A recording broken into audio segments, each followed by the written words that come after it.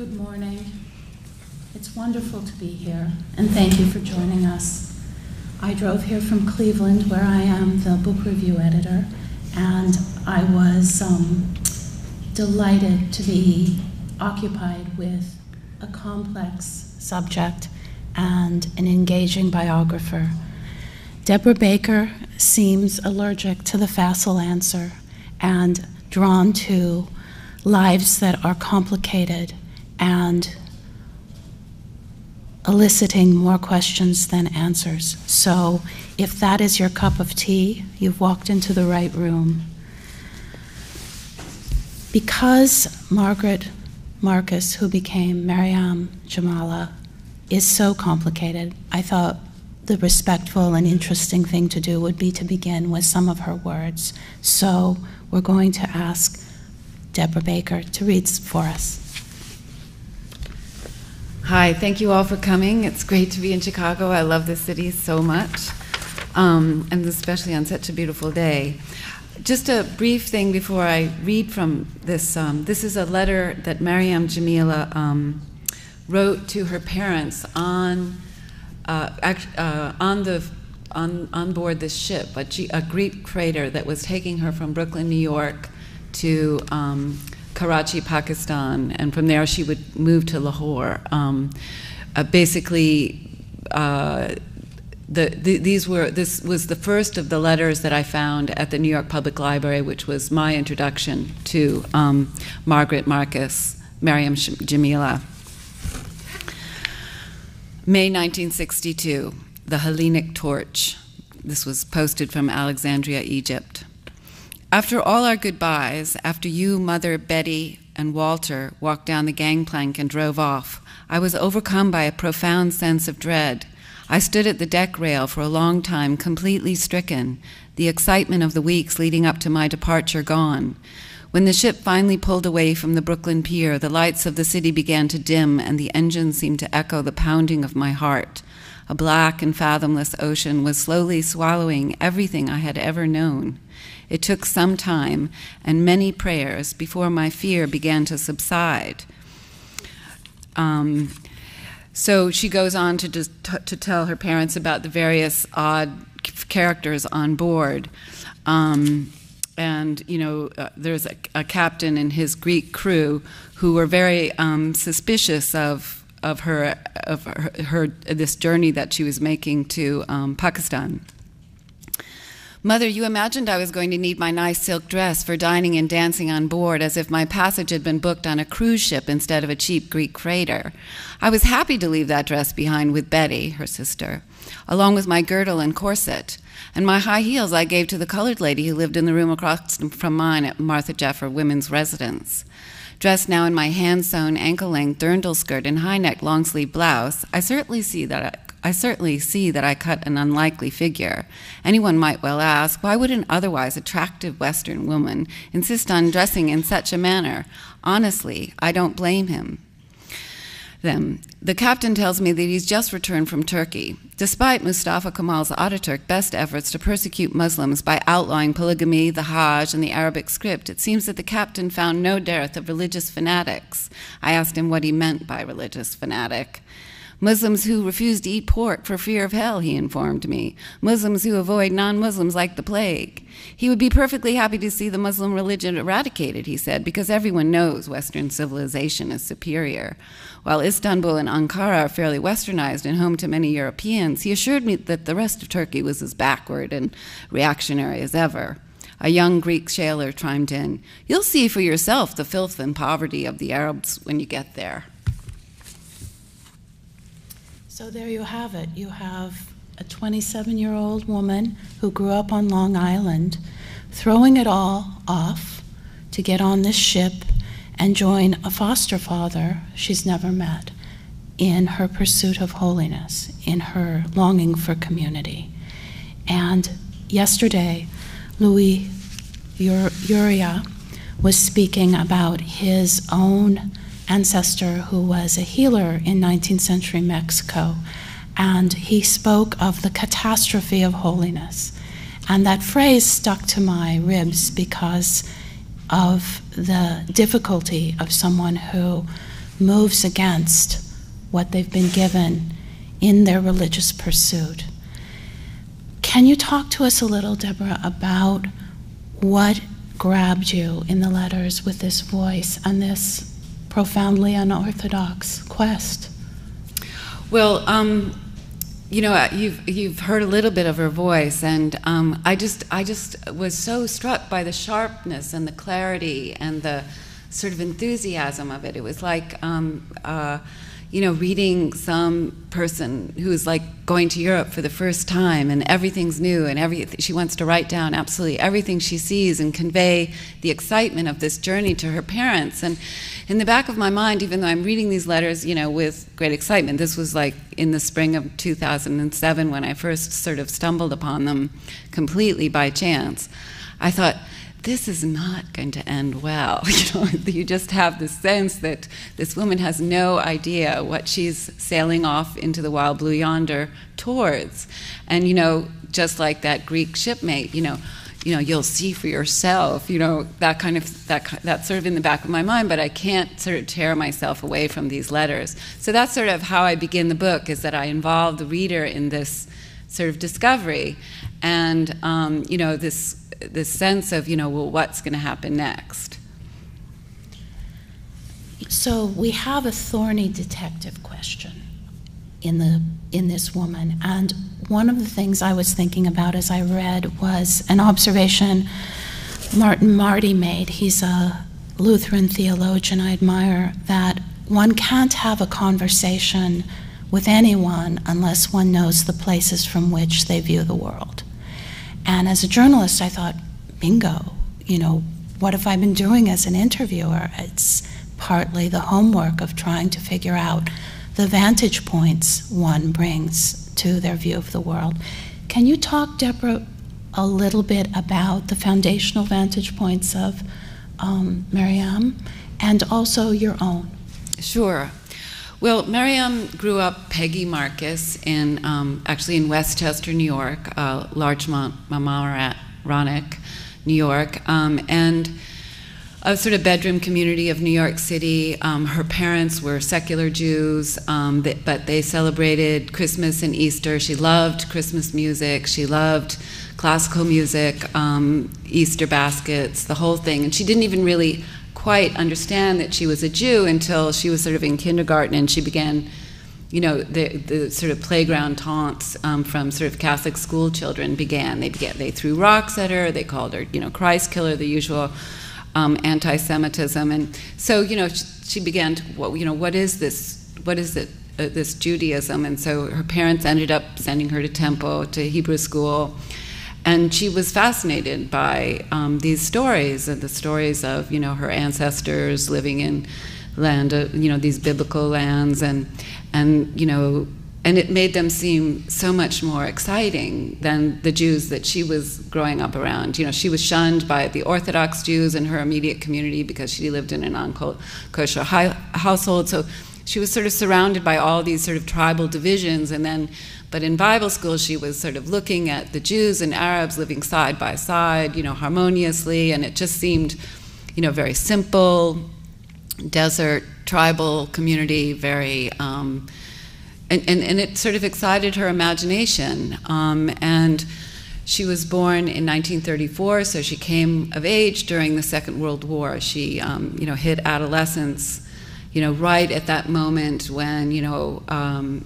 you know, everyone was was learning about what had happened, you know, in Eastern Europe to the Jews, and you know, this was she was she was a kind of child, very precocious child who read the papers religiously every day, and there was this sense that something was going on, but no one really quite believed it. And then when the photographs started being published, her, first her parents tried to hide it because she was a very she was a child sort of constantly questioning, well, why is this? Why is that? Why is this? And her parents just didn't know how to answer these questions. So, you know, she was completely traumatized by that. Um, and then, you know, when it, you know, the Jews were all of a sudden going to, you know, to start this state of, of Israel, she was very excited, initially very excited. She thought, oh, the Jews are, you know, we're going to reconnect with our roots and we're going to learn how to be real Jews again. That was the word she used. And, um, and the Arabs are going to protect us from the horrible Christians. And, um, you know, that was, and then when she saw that that was not how the state of Israel was unfolding, that was sort of the beginning of her move, you know, to, uh, to her radicalization. Her, her, her, you know, in sympathy, she moved towards the Arabs, towards, she'd always sort of um, been fascinated by Arab poetry, by Arab music, you know, um, and at least from the age of 10 onwards. And um, she just sort of got drawn further and further. And her parents would say, oh no, the Arabs, they're killing the Jews, you, you know, they're dirty, low people. And she would sort of, you know, want to believe that and she would destroy she liked to paint she would destroy her drawings but then she just wanted to prove to her parents that they were prejudiced you know that it was bad she knew that it was bad to be prejudiced against black people. So she felt like you know she wanted to argue her parents that you know the Arabs are a great people that um, you know and so there was this tension in the household you know in her in her you know at the center of her life in the center of her adolescence. So that's sort of her framework where she was coming out of. As far as my framework which i'm generally not very interested in because i'm a biographer and a biographers t- you tend to stay you know behind the curtain you know pay no attention to the person behind the curtain. But you know, my framework was, um, know, I just I discovered these letters. Um, I'd written mostly about you know obscure American poets before that. I'd never written about a sort of Islamic ideologue, which is what she eventually became. And um, you know. I was completely obsessed with them, and, and really no one seemed to really understand the nature of my obsession, so I had to keep wondering like well what is it? Why is it that this is these letters are speaking so much to me? And i'd read her books she later became this, the voice of islam's argument with the west. So you know uh, you know and she, she was very influential and a big name in the islamic world as was her adopted father. But um, you know so i felt like these uh, issues, you know, and I was, you know, writing and researching this book in the midst of, you know, the war on terror, and also in New York City, where, you know, I had, you know, um, you know, witnessed the 9/11 attacks, um, you know, in 2001. So I was sort of torn. You know, the idea of objectivity really never entered into it because, on the one hand, I had been traumatized deeply and personally affected by the 9 11 attacks. But on the other hand, you know, I had seen this country that I loved, you know, become this sort of, you know, um, uh, you know, betray its most sort of sacred laws in pursuit of, you know, a war against, you know, Muslim people that really had nothing to do with the attack. So, so I was sort of, you know, the deeper I got into Maryam Jameelah's life and into this story, the more it became apparent that there were these elephants in the room that I couldn't just pretend weren't there. So, those are it's a long answer to your question. But. It's a it's a great answer, and it seems that both for you and for Margaret Marcus, the book is an indispensable key to the formation of one's view of the world, in the sense that for little Margaret, Peggy, The Road to Mecca, a book by a Jew who converted, right, was a, a, foundational document for her. Yes. Can you talk just briefly about her autodidacticism and that particular book? Yeah, this was a book called The Road to Mecca, which has been the road to Mecca for a lot of people who've read it. It's a it's a memoir by this uh, Austrian Jew who was a journalist who went to um, cover uh, North Africa and the Middle East and became very friendly. He traveled a lot in the desert um, with a trusty Bedouin guide, um, and you know just wrote this very passionate, wonderful book about about uh, Arabia. And he became very good friends with King Saud, and later on uh, married a Bedouin woman, and then moved to Pakistan and became Pakistan's ambassador to America. And, but you know, Maryam just her, her, parents refused to let her take this book home, so she would just go to the library after school and you know read it a dozen times. And I later met Muhammad Asad's son, who teaches in New York City, and he says, you know, he gets so many letters from people you know, looking to him for guidance, you know, because they've read his father's book. Um, so that was her, that was wonderful. But she also listened to Umm Kulthum, who was this great Egyptian singer. Um, she would play her records, you know, at top volume, you know, with all the windows of her parents' apartment opening open, so she could watch people's, you know, expressions on, in the suburban lawn below. But uh, so she had this kind of uncanny fascination and obsession with um, Arab culture, um, you know, Middle Eastern culture. So Deborah paints a picture of this precocious child who is swimming against the tide, alive with ideas, and is misfit to the place and time she finds herself to such a painful degree that she herself describes a friendless, isolated, bookish environment in her parents' home. She's thrown out of two colleges. We're not quite sure why. She is stuck and unhappy. And through the letters and through Deborah's writing, we readers become anxious to know what will become of this woman child who's launched herself in such an unorthodox direction on this freighter. And one of the um, great through lines of the convert are the letters, but one of the confounding parts is Deborah treats us as, as grown ups and lets us experience her difficulty in trying to discern this woman and tells us that these letters aren't straight stenography, that Deborah herself has made them more concise, moved a few anecdotes around. So then there's a hole blown into the book. What are we to be made of this document that isn't quite what we would assume as we began? I'd like you to try to tell us why you made the choice to reconstitute the mm-hmm, letters. Mm-hmm. Well, first of all, I'd like to say the book is divided into three parts. The first part is called the Marble Library, which is the library where I found the letters. That's the New York Public Library, and that really tell that really tells the story of the first 24 letters, which were her first 18 months in Pakistan. You know, which began on the Greek ship and sort of ended with uh, this letter that all of a sudden is being written from an insane asylum in Lahore. And when I got to that letter, I thought, oh my God, you know, I've been like just not thinking twice, just, you know, going down the, you know, just going down the garden path with her and not thinking at all about whether or not what she's writing in the letter is, is unreliable or not. So when I got to that letter, I thought, okay, and then the next letter said, you know, well, now I guess I really have to tell you what really happened to me when I got to Pakistan. This is, again, letters to her parents. So I thought, you know, I'm gonna, so she's going to start at the beginning and tell the story all over again. And I thought, you know, that's not really where the story starts. You know, what happened when she really got to Pakistan. And I don't know the terms under which this new letter was written, so that's when I go back to her childhood. And the whole second part of the book is her childhood.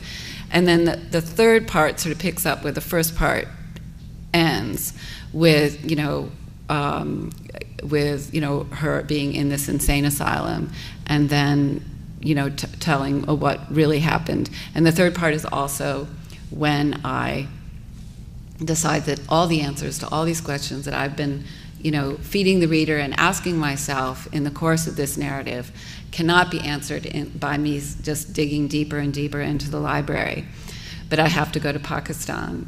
And one element of the story that I haven't really discussed so much is the man that adopt, that asked, invited Maryam Jameelah, Margaret Marcus, to come live with him and his family in Pakistan.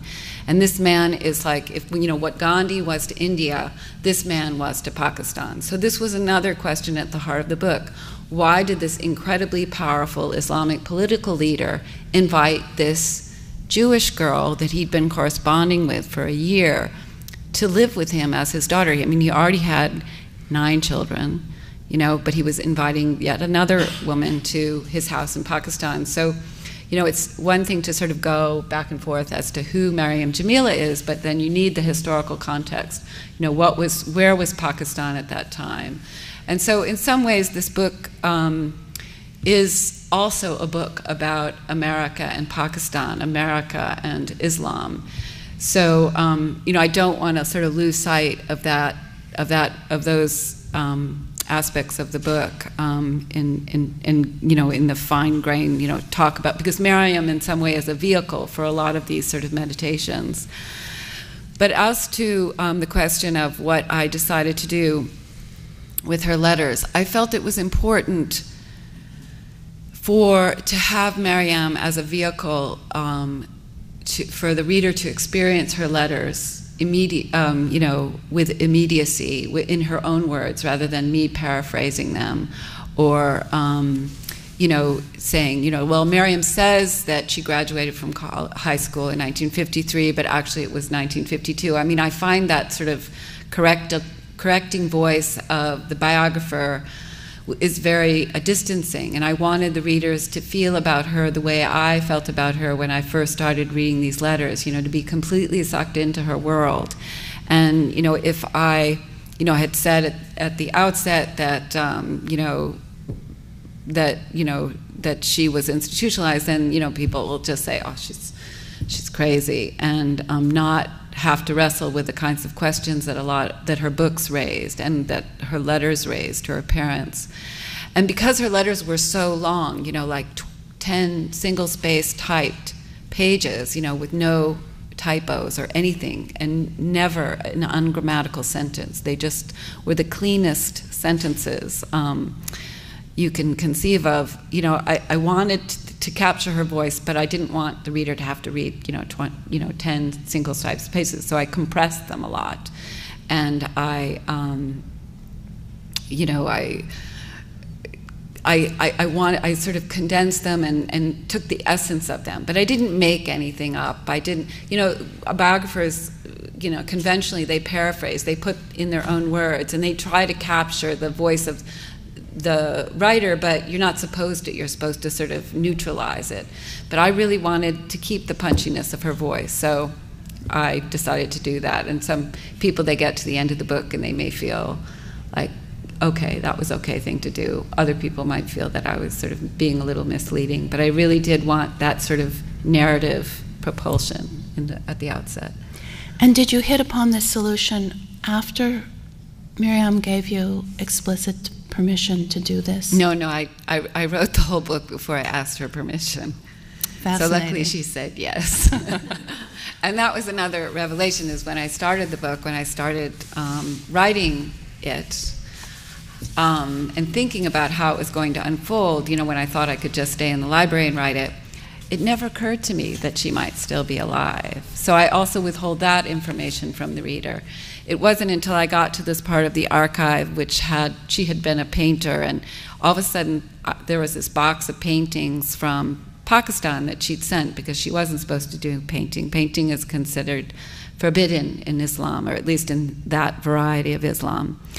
Um, and she so secretly would send these paintings back to the New York Public Library. And the last painting in the last box of her um, portfolio was dated September 11th, 2001.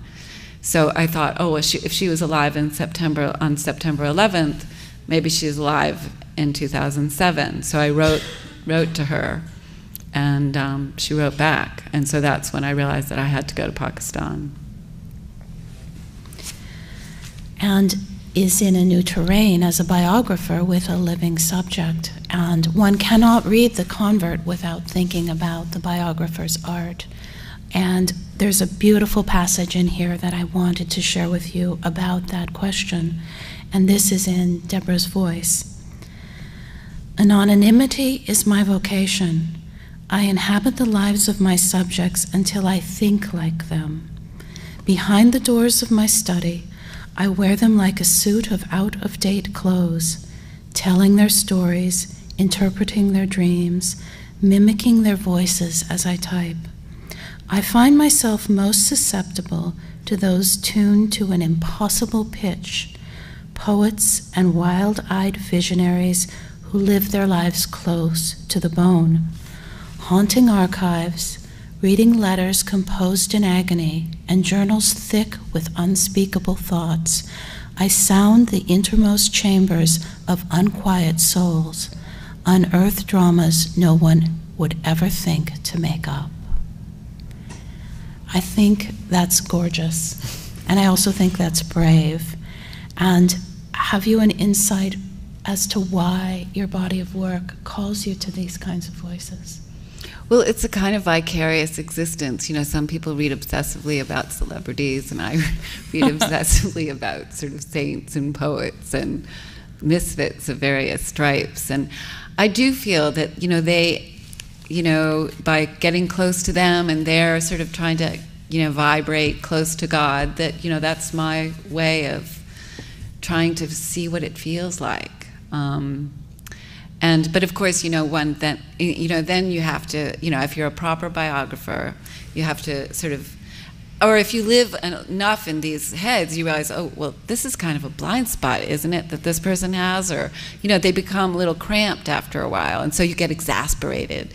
And, you know, like, well, can't they see this and can't they see that? And you become all of a sudden this sort of, you know, rather censorious person, you know, and you realize, you know, that, that the, the break is happening. It's like a relationship falling apart.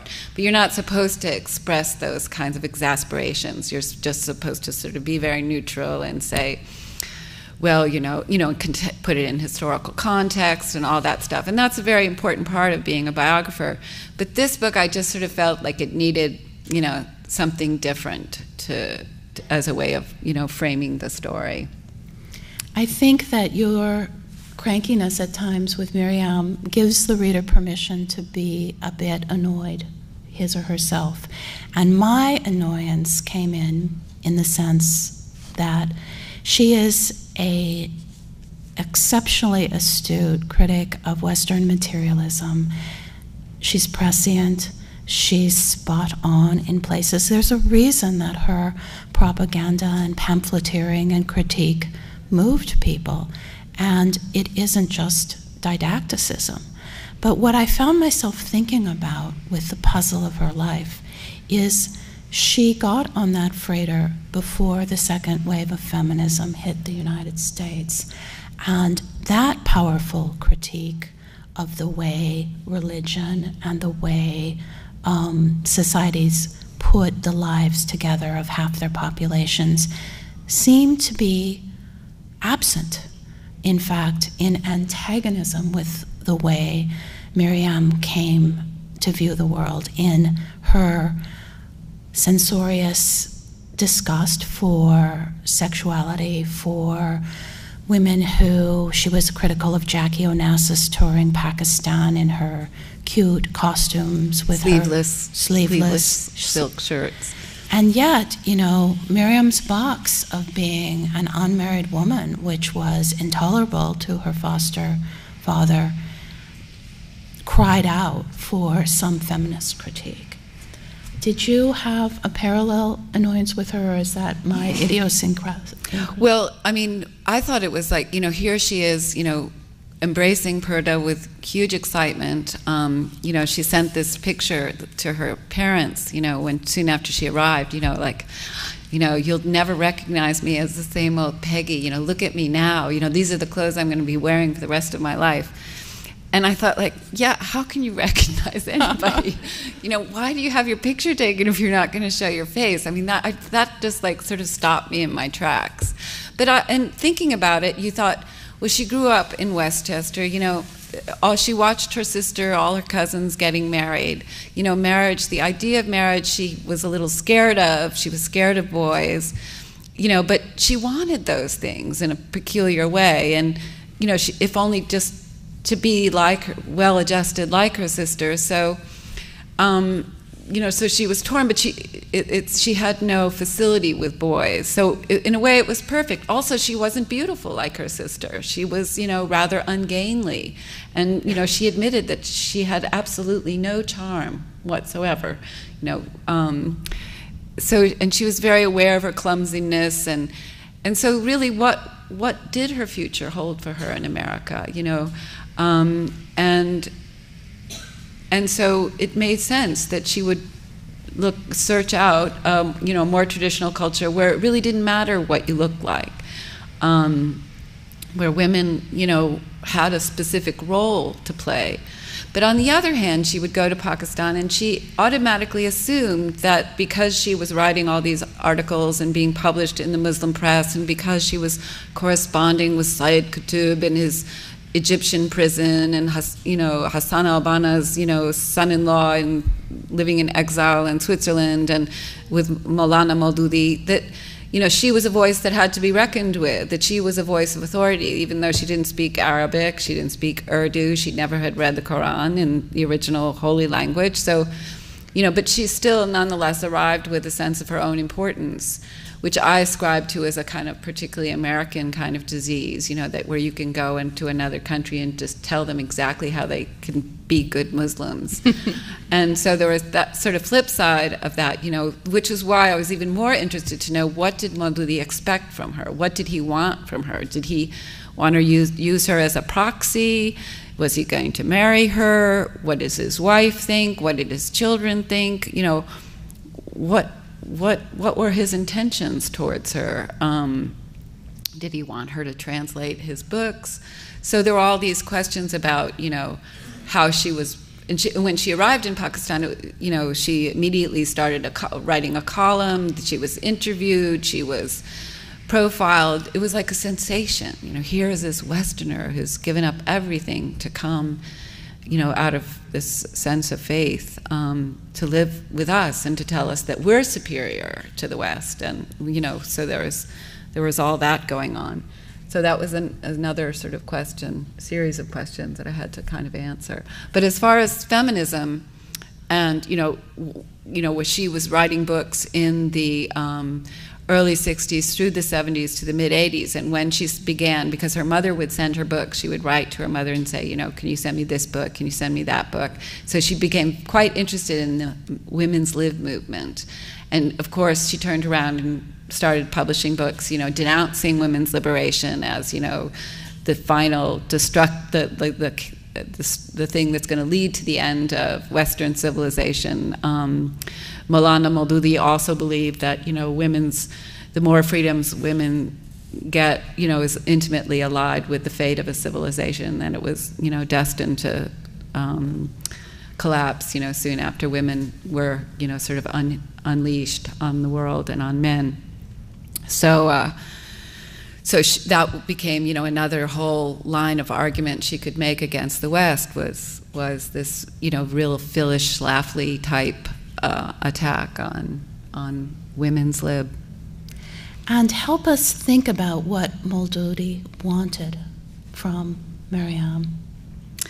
Well, that's you know one of the sort of things that I sort of withhold in the book, so I'm not going to say everything. But um, basically, Maududi's ideas um, grew out of of the India's um, you know, uh, trying to get rid of the British Empire. And you know, he grew, he was born in 1901. He, for a while, he was um, there was a kind of Muslim Hindu unity with Ga- under Gandhi and his um, movement, but he gradually moved away from that, and he began to articulate. And he was really the, one of the first people to articulate this idea of an Islamic state based entirely on Sharia law and which you know we hear a lot about now, because especially you know with Egypt and and um, you know the Muslim Brotherhood. The Sayyid Qutb, who I mentioned, was deeply influenced by his writings on the idea of a of an Islamic constitution, as was um, Ayatollah Khomeini, who uh, translated his works from Urdu into Persian for Iran.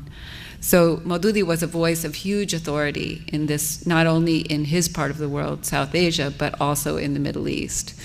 And um, you know, he was constantly going to Saudi Arabia. Uh, King Saud was was um, subsidizing and patronizing the Jamaat-e-Islami, his political party, which he had founded in India, which was the first quote unquote Islamic political party and which continues to be a force in Pakistan. I mean, there are a lot of little Jamaat Islami offshoots, but basically these are the parties through which um, the you know jihadis are organized and, and sent off to to fight, um, you know, either in the Northwest Territories or, or in Afghanistan. So this is sort of the mo- mother of all jihadi, and he wrote sort of the first book on global jihad. He sort of was the first to articulate what the what the um, the aims of global jihad was, and that was also kind of interesting to me because I there were there have been many many books about him and and his writings and biographies and everything, but none of them none of them mention Mar- Margaret Marcus and Maryam Jameelah. None of them talk about him as a father or a husband or a brother or a son.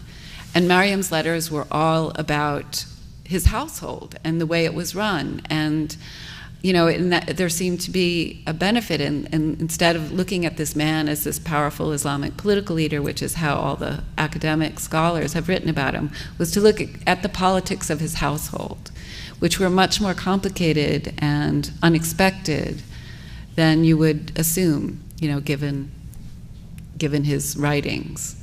I mean, his you know, Maryam would be upset because his wife didn't always, you know, wasn't always, you know, in strict purdah, you know, and you know, she would say, well, why why didn't you, you know, wear your um, why didn't you wear your um, you know veil when you went out to meet your you know brother-in-law? And she said, oh, you know, doesn't your husband, you know, get upset at that? And she said, oh, you know, my husband is such a saint. He has so much patience for me. you know, but basically, she would get away with like the things that Maududi was telling every proper Islamic woman she had to do, and his own wife, he he couldn't actually make live up to these ideas.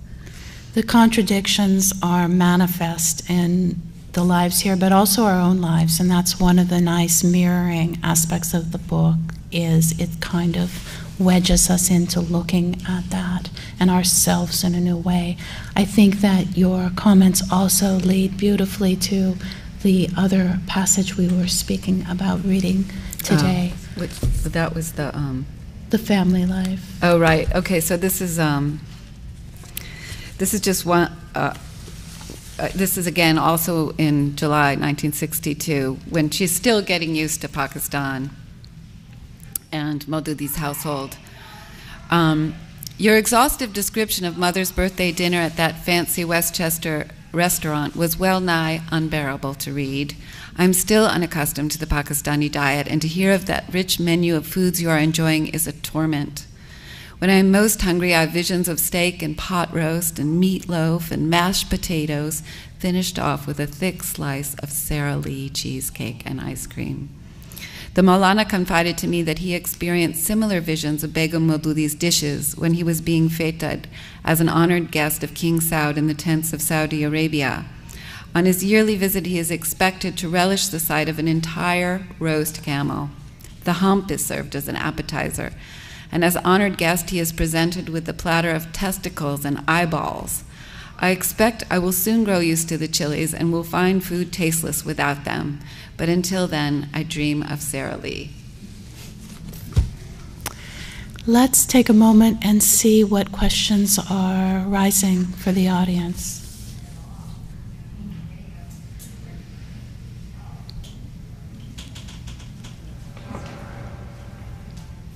Um, I'm curious to know how the process of researching it and writing it and perhaps meeting her um, possibly change your perceptions of people who, who convert, who, you know, or who go against the tide, uh, against values held by their family or community.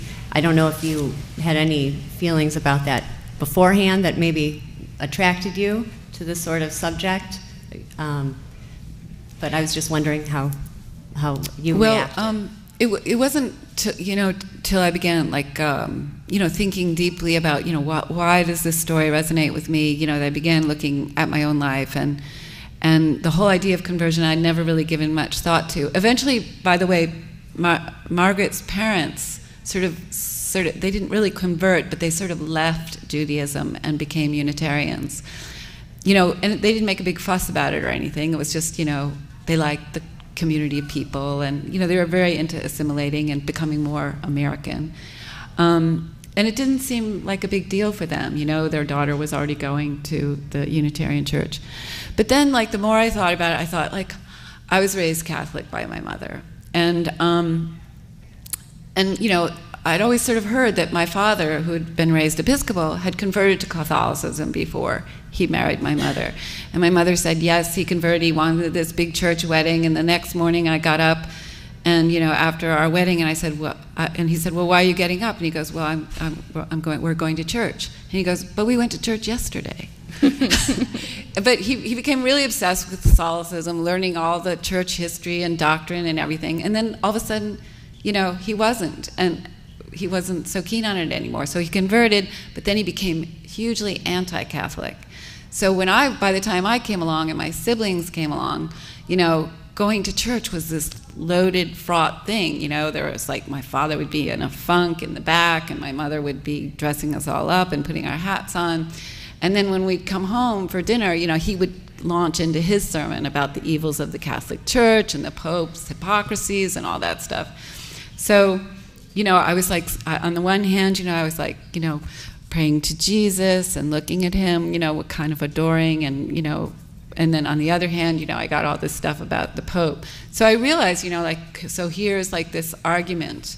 And, it, and also, you see it in our culture now this sense of, you know, sort of secular humanism, agnosticism, you know, how, how um, close minded it can be to, you know, um, they, you know, the, the, religion is always, you know, posed in terms of fanatics or fundamentalists, or you know, that's, you know, that's how we read. You know, we read about, you know, the, you know, brainwashing of children and things like that. It's never, um, you know, it's never seen as a, a, it's rarely seen as a kind of positive thing or as a, as a, as a power for good. You know, it's always, it's often framed as this kind of evil, fanatical thing, whether they're, you know, right wing. And as a result, of course, my own siblings, I, have a brother who's who I adore, who's an evangelical Christian. His wife believes in creationism, and you know, I have a sister who's a yogi, and another one who's a pagan slash Unitarian. So,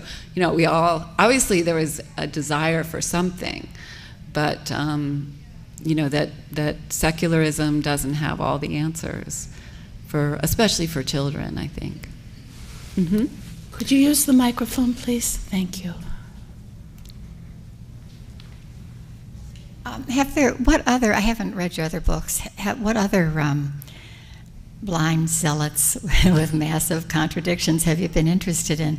and have you ever thought of doing a book that groups many of these together to see what the pattern is? Well, I think you know people are so unpredictable. It's really hard to imagine, you know, that there'd be any consistent pattern. But um, but I I find that I'm drawn to people who are good with words, you know, because I feel like that gives me access to them in a way, you know. So there have been mostly, you know, poets, actually three poets um, that I've written about, and before I got to Miriam, and and you know, you get you get insight you know, directly into their souls through their through their writings, and really that's what drew me to them. You know, more than the specificities of their religious beliefs, which were often quite unpredictable. I have a question about this person that she lived with in Pakistan. Mm-hmm. How was the initial meeting um, between them? He seemed so influential. Was her family that influential that they come, you know, combined and said, "Oh, you're going to go live with him," or she? No, they had been corresponding for a year before she decided to go, and I think you know before she left, she decided to go to leave America to go into exile when her parents were off on holiday in the Caribbean, and I think she had a sense of how how you know that she was had been mired in this sort of stuck in this place, you know, between her adolescence and adulthood, and she hadn't been able to move forward in her life. She said she was kicked out of college. She really had no way of making a living, and um, and and he had been inviting her for over a year to come live with him. You know, so they'd been corresponding. She had been asking him questions. He'd been giving her answers. She'd been writing essays. He'd been sending her essays. So it was a real sort of meeting of minds, which was I mean, and the fact that she was a woman, the fact that she was raised Jew, you know, just did not seem to bother him at all. Um, and so she had So he had this fantasy of her, and she had this fantasy of him.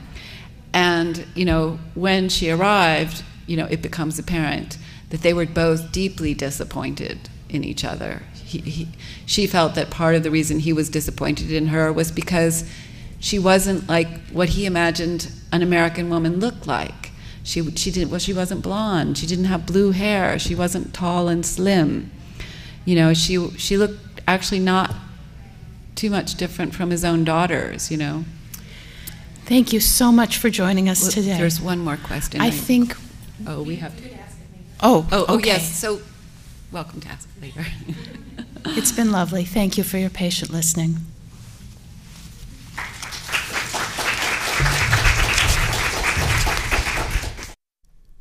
You're watching 48 hours of nonfiction authors and books on C SPAN 2's Book TV.